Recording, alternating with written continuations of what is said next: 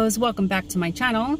Today I am going to the hospital to have a couple scans done, one in one in my chest and one in my pelvic region.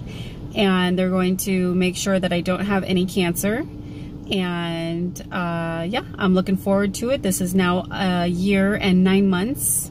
Uh, this is the scan. And then in December, that will be two years since I had cancer.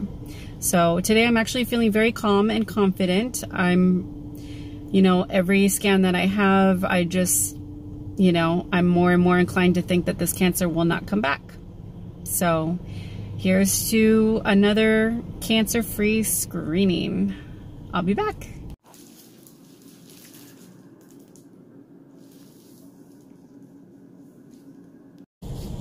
All right, friendos, I am back. And I have lipstick on my chin because my mask. Ha. I love ripping those off. It's so much fun. Uh, anyways, so obviously I'm in a good mood. So that means I got some good news. No cancer. No cancer in my chest. No cancer in my pelvis. So praise God. Thank you. Amen.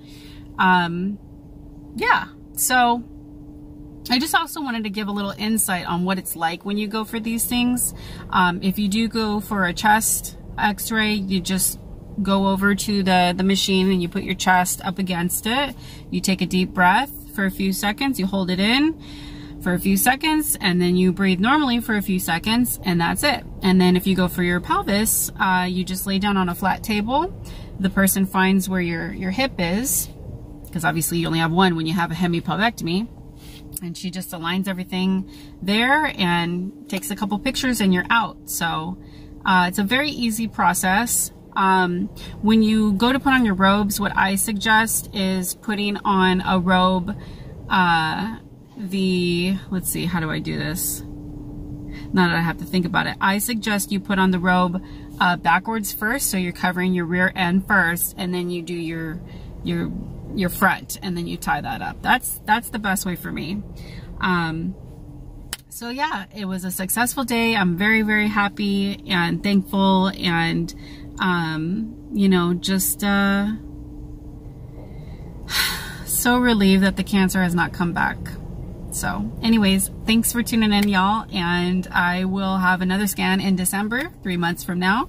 And it's going to be clear again. And just so exciting. So I'm also going to put some x-ray pictures somewhere and uh, show you what my spine looks like. It's pretty wild.